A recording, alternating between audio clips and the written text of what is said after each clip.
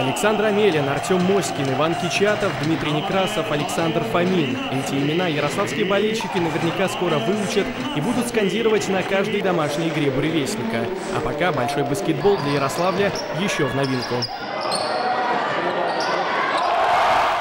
Сюрпризы поджидали болельщиков уже при входе в новый спорткомплекс. Гостей встречал талисман команды – Бурелон. А вот у зеркала прихорашиваются девчонки из группы поддержки.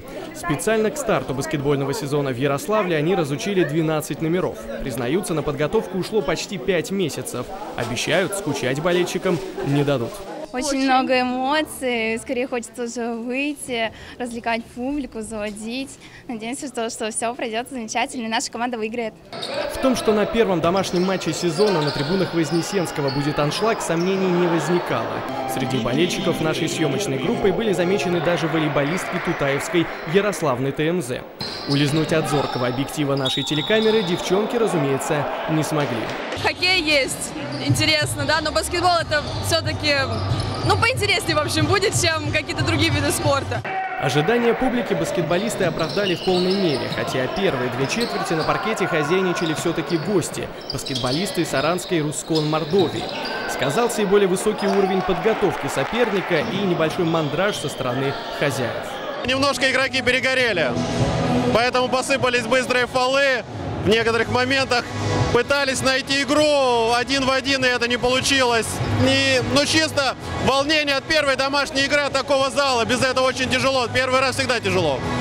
Однако во время большого перерыва наставник волжан Тада Сточкус все же сумел достучаться до своих подопечных. Поэтому, начиная с конца третьей четверти, уже буревестники погнали оппонентов вперед.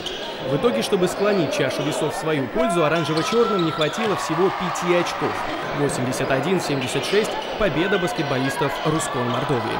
Самым результативным в составе волжан стал нападающий Александр Фомин, записавший в свой актив 24 очка. Было несколько обидных потерь, соперник ушел на 20 очков. И потом, сами видели, буквально за 10-12 минут мы почти отыграли это преимущество, создали, э, создали интригу и могли вернуться в игру. Но, к сожалению, не хватило времени. Очевидно, все-таки, поскольку это новшество, это пока приносит свои плоды. Народ с большим интересом идет и смотрит баскетбол. У нас, если можно так сказать, поднаелись немножко.